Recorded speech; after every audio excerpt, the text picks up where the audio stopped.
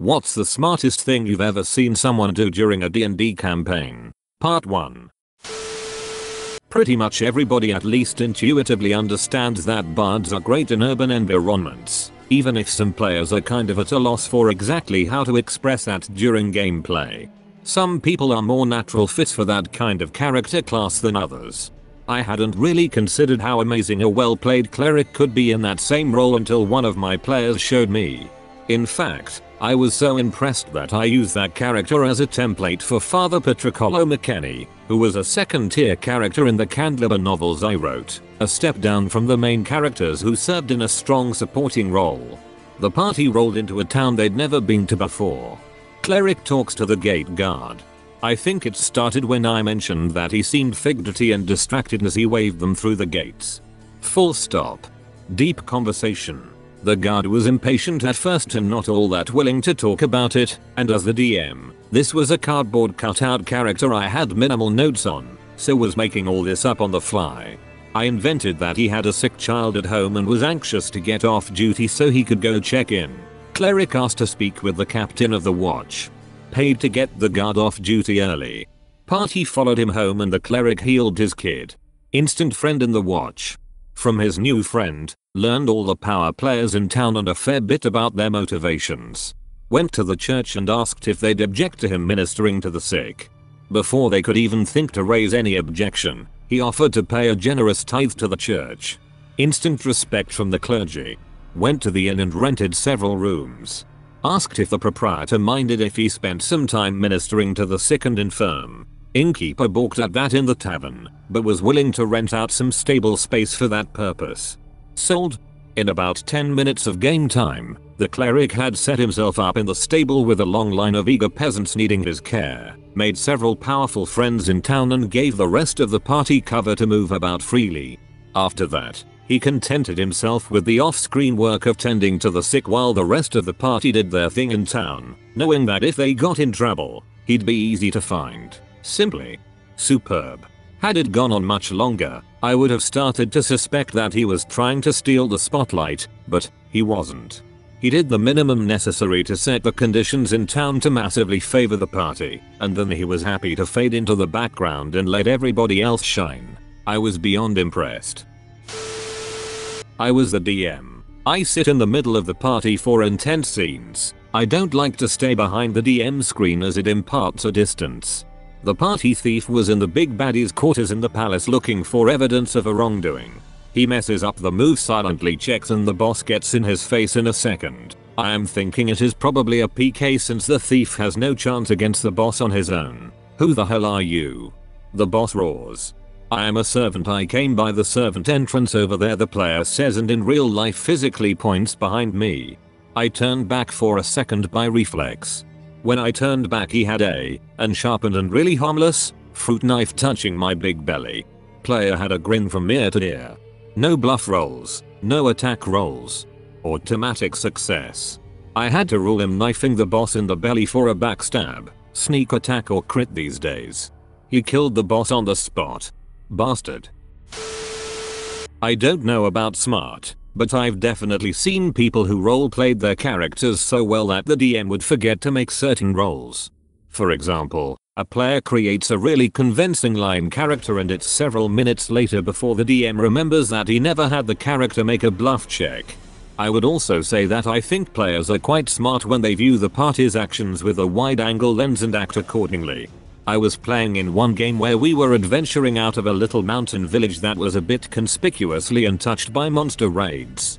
We were still first level, but had come back with a fair bit of treasure and when we got back to the inn everyone went their separate ways and started working on separate projects like identifying magical items, looking at a map we'd found, etc. Everyone was pretty excited to do these things, except for one PC who found a comfy chair in the corner so that he could see the doorway to the inn. He bought an ale and only pretended to drink it. Sure enough, before anyone had finished their side projects, an agent of the baddies walked in the door because the bad guys actually ran the village. The guy by the fire fought and captured the enemy agent right before the eyes of the terrified villagers. We got a lot of information out of him once the other PCs realized what had happened. I would actually say that this sort of thing happened a fair amount. players would all get excited about the interesting thing going on and forget to cover their backs. Having one player who remembers to hang back and protect against the obvious attack from behind can often be the difference between a medium difficulty fight and a tough surprise fight that might fell a PC or henchman. Distracting guards was also a smart trick that I've seen people do. I picked it up after watching another player do it. Sometimes the combat mechanics in D&D are so prevalent that one thinks that hacking one's way through a group of guards is the only option. Not so. We were trying to get into a restricted building in town in one game, and one player just decided he would very clearly mug a lady right in front of the guards. Naturally, the guards pursued him. Bingo. This was plenty of time for the rest of us to sneak in. This works great if you've got a magical item to increase speed or mobility. Lastly, I would say that I've always thought it was really clever when players could get a lot of mileage out of seemingly non-powerful magical items. I remember a character who had a ring of feather falling in a game. It seems like an innocuous enough item that just protects you from falling damage, but after a little while, that PC was using it all the freaking time, jumping out of windows or off cliffs. He more than once surprised enemies by coming out of nowhere right in their midst. Most players tend to view magical items as just the sum of their stats, with the aforementioned ring meaning takes no damage from falling. An inventive player will learn to use magical items in creative ways and adapt their tactics around that ability. My favorite moment of a player getting creative with magical item tactics was when our group was crossing a bridge in a haunted castle. Turns out, there were magical ballistae on both sides pummeling us with force bolts. My character got knocked unconscious, and a very creative player grabbed my character's body and jumped off the bridge. He pulled out a carpet of flying as he did so, this player was creative enough to see that something bad, falling into the gorge below, was actually good if it got an unconscious character to safety. The DM gets big points for intelligence too because he immediately had that character make a difficult dex check which he promptly failed, accidentally dropping the carpet. Of course, the player remembered another item he could use to save both himself and me, his still unconscious comrade, from plummeting to certain death. The sheer unexpectedness of it was brilliant though, as was my unwitting participation in the escapade. Even if it hadn't worked, I still would have been proud to have to roll up a new character based on such a great move. The players entered the ruined castle. They had dispatched the outer lookouts easily. The rat in the sewer did little to slow them down. As they climbed the stair they saw a small room with a table, a chai and a lantern hanging from the wall. On the chair was sitting a guard, she was dozing off and didn't hear the players.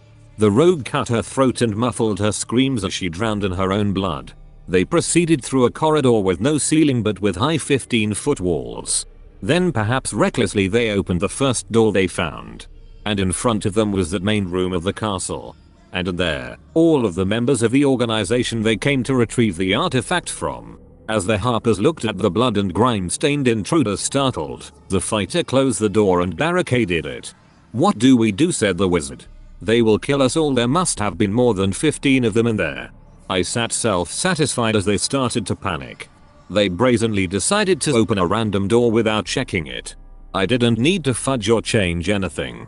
They opted to attack in the middle of the day, so all of the Harper operatives were there. They would need to retreat, I thought, or if they stay, a swift death is the only thing that will await them. What did you say was in the previous room? Asked the fighter. A table and a chair I said. Oh and a lantern. And how wide is the corridor? 5 feet with 15 foot walls. Aha says the fighter. We will put the table in the middle. Me and the rogue will go in front for the melee and the wizard and the ranger will stay back and make ranged attacks. But why I ask? Well the table gives us half cover. Three quarters if we crouch, and they will not be able to rush us in the corridor. Well as you can imagine, it was a bloodbath. The Harpers, overzealous due to their numerical advantage tried to rush them. The players absolutely massacred them, the AC advantages from cover combined with the fact that their formation allowed them to use all of the members of their team efficiently. The rogue was small size so he could stay in the space of the fighter easily, gave them such an advantage over their enemies that they decimated half of them before they decided to retreat. That table made all the difference. But that's what you get to enjoy when your players understand what an RPG is. True role players understand that there is no set dressing. The environment exists to serve the players or hinder them, but it is always malleable and influential, never just the background. This particular game was a standard dungeon crawl adventure which run at a convention. The GM was a bit of a local celebrity with a reputation for running really exciting adventures, so a lot of people signed up for his game expecting something quite special. This particular GM allowed established characters, for example ones which had been played in his games before, to be used by players, but anyone new to him, for example, players like me, had to roll up a random first level character. This meant that our group of a dozen players was composed about half of fairly butch 9 12th level characters and half brand new first level characters. Problem was, this GM's dungeon was pretty much geared to the higher level characters being played by his buddies. As the game wore on it became evident that all us noobs were basically relegated to the role of porters. It was our job to carry the impressive number of bags chests of loot that the higher level players were hoovering up in what was obviously a Monty Hall style dungeon. In fact, things were so bad that none of us noobs were even allowed to fight because the experienced players didn't want to risk any of us kill stealing their XP. If you were one of the noobs this quickly became one of the most boring RPG sessions you'd ever played in. But then, in the midst of what was the largest toughest battle the party had been involved in so far, one of my fellow noob players came up with a brilliant idea. While the high level players were all caught up in a life or death struggle with whatever boss monster they were fighting, can't recall the details, this session was played about 30 years ago, we noobs would collectively just take off running in the direction we'd come, carrying all that loot with us. So we handed the GM a note saying we were all sneaking off, back around the corner and then head for the dungeon entrance as fast as we could run. The GM required us to make stealth rolls. Because all the high level types were all distracted, focused on their battle, we were able to get away without any of them noticing. It took them probably another 4 to 5 melee rounds to kill the enemy creature, but by that point we were gone. Unfortunately, the Porter Party noob group never made it out of the dungeon. We were all killed in a random encounter with a pack of fire-breathing hellhounds. I say random because one of our group noticed that the GM was deliberately fudging our encounter rolls. Seems he didn't want his friends to be upset that he'd let us all get away with their loot. But we didn't care since, for us noobs, our characters were all essentially throwaway characters anyway. What made this so memorable was that we'd stuck it to the more experienced players who'd been treating us so badly, and even though they were able to follow our tracks and reclaim much of their treasure, a lot of it, in particular some very powerful magical spell books, was burned and destroyed in our fight with the fire-breathing hellhounds. It was a good, even great, way to die. As an interesting epilogue to this tale, this incident apparently became somewhat legendary in this particular GM's circle of friends becoming known as the Great Porters Rebellion. Thereafter, whenever this group was playing with minor level players they always kept one of their number detailed to stay out of the main combat and remain with and watch over the noobs to prevent a repeat of the incident. Seems it never occurred to them to simply let the noobs join in the fun so they wouldn't feel like a bunch of disgruntled minimum wage service clerks. Hiya, before I finish, if you liked the video, please hit the subscribe button. Also we have a discord and the link is in the description. Plenty of D&D chat. And more importantly thanks for watching.